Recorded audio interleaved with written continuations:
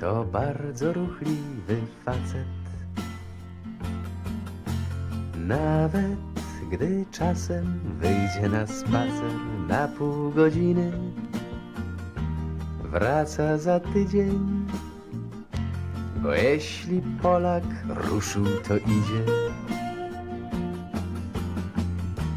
Idzie i idzie, jedzie i płynie. Fruwa po całej polskiej krainie. Ale to wszystko nie dość i nie mało. Dalekich lądów chciałoby ciało. Lilian pod palmą i palm wśród lilian. Torsów o barwie skrzydeł motyla Bo Polak mimo ach, mimo wszystko Bywa artystą, jest kolorystą i futurystą Jak Forokrysto Gdzie go nie było Bóg jeden wie to. Był pod Kanossą i pod Orvieto. Był pod Paryżem i nieco bliżej.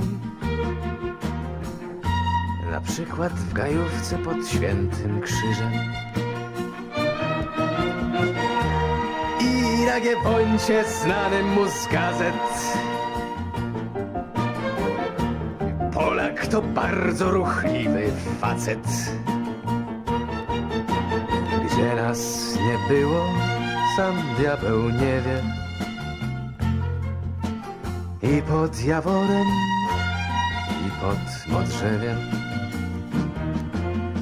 I jako jątek, i jako filon. I sto lat temu, i tuż przed chwilą. I jako Jan z Kolla i Jan z Podwiednia. I jako średniak i jako biedniak. I jako pątnik z pustką w kieszeni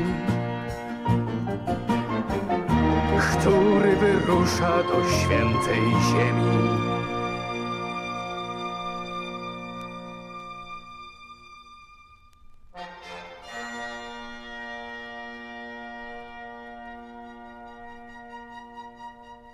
Polak to bardzo ruchliwy facet. Nawet gdy czasem wyjdzie na spacer.